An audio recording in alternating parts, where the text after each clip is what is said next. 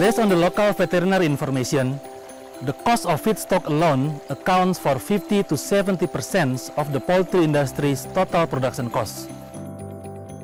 Animal food costs are the biggest issues for this industry and becoming the main problem that need to be addressed to improve farmers' economy.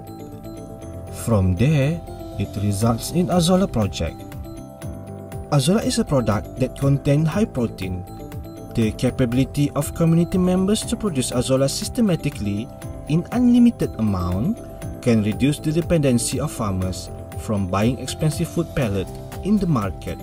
University Malaysia Pahang has taken an initiative to introduce a training program about Azolla production.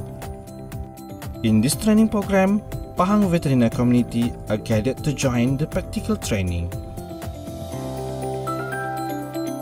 With minimal cost, this program managed to achieve the objective of training farmers that can produce their own Azolla product.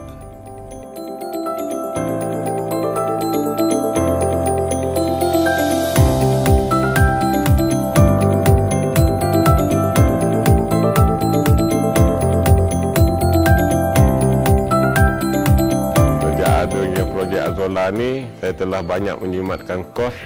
Terima kasih kepada UMP.